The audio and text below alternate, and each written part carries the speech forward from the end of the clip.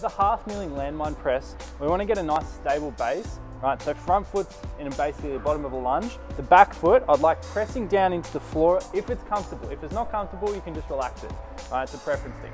From there, we're gonna get a nice, now we talk about this front rack position, important to create a stable base. So we've got everything up to the shoulder is nice and stable.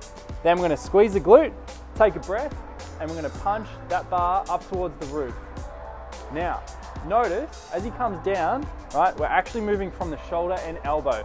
So we're not just locking out from here, we're getting a nice reach of the rib cage and the shoulder at the top. That's your goal with this, okay? So I want five to 10 reps. Send us one set because it's quite a technical exercise. And again, I don't want you taking close to failure because it is about quality over quantity.